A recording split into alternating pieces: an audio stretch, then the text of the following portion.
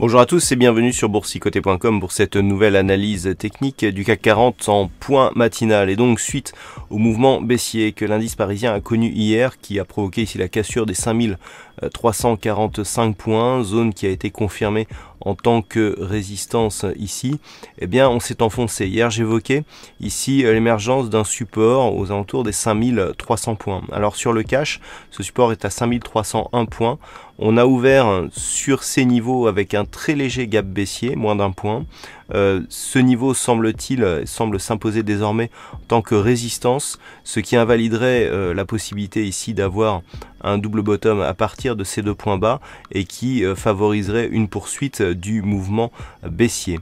Du point de vue des indicateurs, on reste ici en zone de survente. Sur le RSI, le stochastique qui avait invalidé son signal de rebond technique est en train d'y revenir. Malgré tout, le MACD continue à évoluer d'une manière plutôt haussière, ce qui tendrait à aller vers euh, un affaiblissement ici de cette dynamique baissière. Toutefois, avec cette inscription d'un nouveau point bas significatif, même si des signaux d'affaiblissement commencent à peine à apparaître sur cette dynamique, on voit bien que les cours continuent à évoluer à la baisse. Tant qu'on ne reviendra pas ici au-dessus des 5300 points, eh bien il faudra viser des euh, nouveaux points bas significatifs en direction d'une zone de support que je viens de définir ici à 5226 points. Ce niveau correspond à des niveaux euh, antérieurs qui avaient déjà été testés auparavant et notamment ici ce contact avec l'ancien oblique baissière qui définissait la, la précédente phase de consolidation.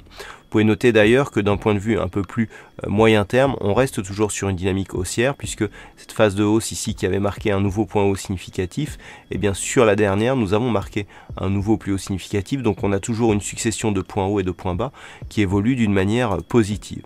Mais d'un point de vue un peu plus court terme, eh bien nous pouvons constater que la dynamique ici euh, baissière reste euh, tout à fait dans un signal de continuité et pourrait bien revenir ici sur cette zone de support. Voilà donc ce que l'on peut dire d'un point de vue technique sur cette analyse du jour d'un point de vue un peu plus macroéconomique, alors nous aurons des chiffres qui viendront euh, de l'Angleterre à 10h30, les chiffres du chômage et euh, de les salaires moyens, donc les chiffres de, l'emploi euh, en général.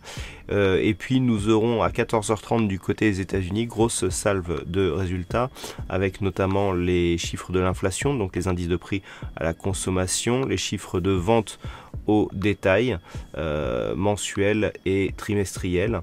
non, mensuel, pardon. Et puis ensuite, il faudra attendre 16h30 pour avoir euh, les euh, valeurs de stock de pétrole dans un contexte où le, WTI est de redevenu assez volatile. Et eh bien, ces chiffres pourront avoir de l'importance.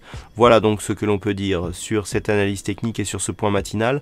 Passez de bons trades et on se retrouve toute la journée pour d'autres analyses techniques, toujours sur le site boursicoté.com.